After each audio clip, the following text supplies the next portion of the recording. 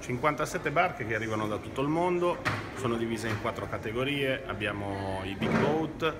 le, le barche d'epoca, le, le, classiche e gli spirit of tradition. Barche che arrivano da tutto il mondo con una loro storia, andiamo da Emilia che è stata mm, commissionata dal senatore Agnelli e questo mi fa piacere anche dirlo in virtù del fatto che Alfa Romeo è uno degli sponsor, abbiamo barche su cui hanno fatto la luna di miele il principe Rainieri Greschelli che è una dei Moonbeam, abbiamo una barca che è gemella del Twiga che è la barca dei,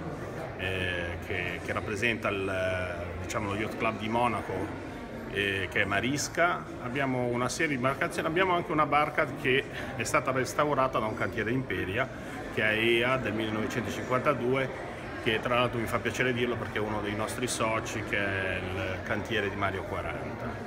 Poi abbiamo un sacco di barche, abbiamo Serenade che è una barca che è stata commissionata per un, violini, un violinista diciamo che è stato molto famoso nel,